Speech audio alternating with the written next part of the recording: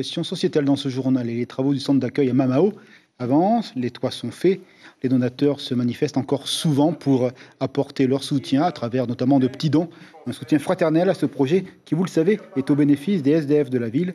On estime leur nombre autour de 200 à 300 personnes. Cependant, pour terminer complètement les nouveaux locaux, il faudra encore trouver 150 millions de francs. Eh bien, on va ouvrir le débat avec notre invité, le Père Christophe. Euh, bonsoir, Père Christophe. Bonsoir. Merci d'être avec nous. Alors, avant de parler, euh, collègue d'argent, euh, parlons un petit peu de ce que nous enseignent les SDF sur l'état de notre société. Quel regard nous donnent ces citoyens qui vivent dans les rues, sur nous-mêmes notamment?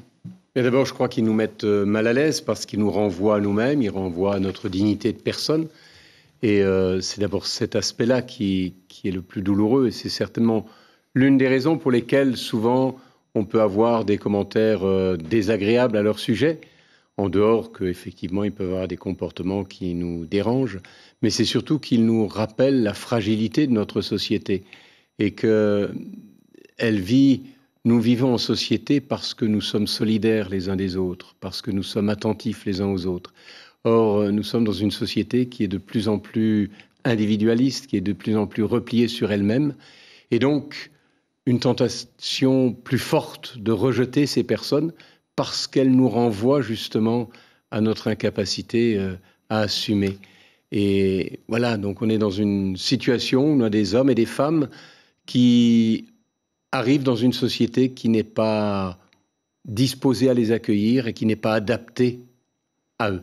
Et pourtant, avec des efforts, avec cette dignité, cette image qui change sur eux-mêmes, on arrive à remettre les gens dans cette société euh, normalisée ou contingentée qu'on connaît? Oui, bien sûr. Alors c'est sûr que c'est un travail de longue haleine et puis ça ne se voit pas. Je veux dire, on voit celui qui est assis sur le bord du trottoir, mais celui qui est reparti chez lui, justement, le voit plus. Hein. et euh, ce matin encore, euh, on, on nous a livré un carton de, de litchi de, de Hein, c'est une, jeune femme qui était arrivée à la rue pour tout un tas d'histoires. Et puis euh, l'accompagnement, et puis à un moment, eh bien, elle est retournée chez elle. Et puis voilà que on l'a emmenée à Rurutu euh, en voyage euh, de, détente un petit peu. Et puis elle a trouvé quelqu'un là-bas. Et puis elle fonde un foyer. Et hier, elle me téléphone, elle me dit demain, on te livre un carton de litchi, c'est pour mes frères de la rue. On a ce jeune l'autre jour qui, euh, le matin, je marchais, qui en vélo, arrive, hé père Et je le regarde, et ça fait plus de dix ans que je ne l'ai pas vu, mais il a galéré dans la rue pendant dix ans. Aujourd'hui, il est à la presqu'île, il fait du farapou, il euh, fait du mitihoué. On a cette euh, jeune fille dont on a déjà parlé, hein, qui était à la rue et qui un jour a décidé de reprendre ses études et qui aujourd'hui a une licence qui galère pour trouver un boulot parce que malgré tout, avec mais elle, est debout, elle est là. Mais elle est debout, mais elle a commencé ses études dans la rue.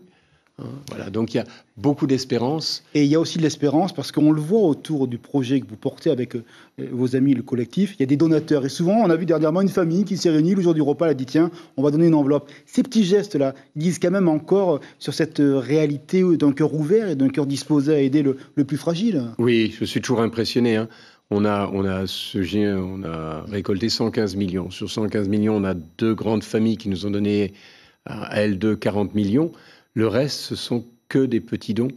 Hein. Et on a des gens qui vont nous donner euh, une petite enveloppe de 1000 francs tous les mois depuis deux ans et demi. Et vraiment avec, en ayant à cœur. Donc la générosité est là. Et il suffit de, de la susciter. Un petit mot sur le bâtiment. On a vu que les toits étaient terminés. Au mois de juin, ça sera ouvert. Et qu'est-ce qu'on va y faire là-bas? On ne va pas y dormir. Hein. C'est un lieu vraiment de formation, un lieu où on va reconquérir sa dignité en tant que personne. Voilà, c'est un lieu, un centre d'accueil de jour, hein, bien précisé. Il n'y a pas de lieu d'hébergement pour la nuit.